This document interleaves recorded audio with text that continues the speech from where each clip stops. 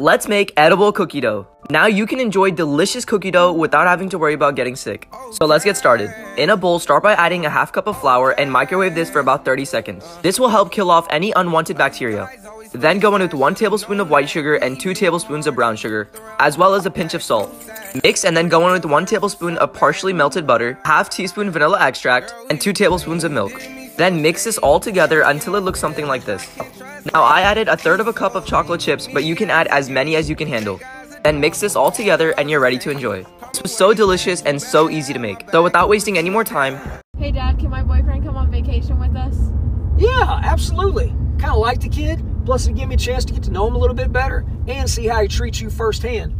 Look, remember, it's a family vacation, though, so we're all going to hang out. But I'll talk to his parents to make sure it's okay with them, and we'll go from there. Look, I'm not telling you guys that you got to let your kid's boyfriend or girlfriend go on vacation with them, because what works in my house might not work in yours. But what I am telling you is have a grown conversation with them. Don't just say no.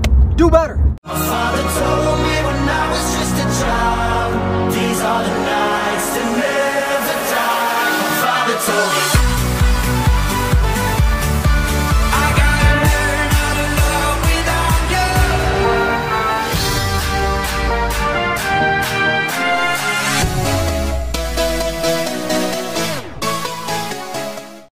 It's a truck on a semi truck on another fucking semi truck on another goddamn semi truck on another semi truck.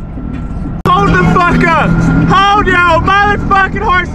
There's more! There's fucking more! Oh my god! What the fuck? Wait a minute! What? What? There's a goddamn fleet! Ah!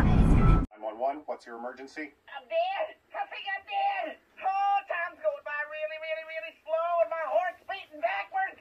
What makes you think your heart's beating backwards? Well, normally it goes goop boop, and now it's going boop goop. Are you having any other symptoms? Uh, uh, I can see sounds.